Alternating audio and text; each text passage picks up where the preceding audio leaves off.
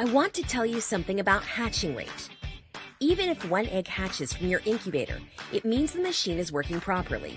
So look for the problem that reduced your hatch rate. Here are points which reduce hatch rate or make it zero. Do not install the machine outdoor and under sunlight or wind. Install the machine in the clean room with enough ventilation. If you use the machine in the house, put it in your living room to check it permanently. If you use the machine on the farm, it is better to install it in the employee's room. Then he, she can check it permanently. We advise you to use an employee who has the smartest and the most experience. From experience, the most problems happens when employees who don't know anything about hatching or operating an incubator. The temperature of the room must be between 25 to 30 degree, and in the summer, put the machine in the room, which is equipped with air conditioning. If you store fertilized eggs daily, note that the place of putting eggs should not be warm because embryos die and cannot hatch. Suitable temperature to storing eggs is 18 to 20 degree.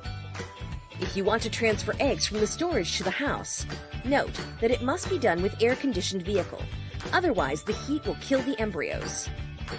Please note that in the warm seasons, more than 80% of the eggs do not have embryos and will not hatch. Notice that if the place of installing the machine is dusty, dust enters the machine through the ventilation channels and causes chicks infection. Cox egg incubators are designed in a way that for maintaining there is no need for specialists. Be sure to observe health issues. People with cold should not interact with the machine. After each period, first, clean the machine inside with compressed air to exit feathers, and then clean it with a wet cloth and dishwashing liquid.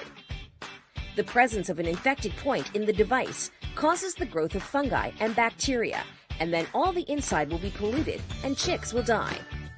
Cox egg incubators have been adjusted in the factory, so only connect them to the electricity and do not change the setting of the computer or thermostat.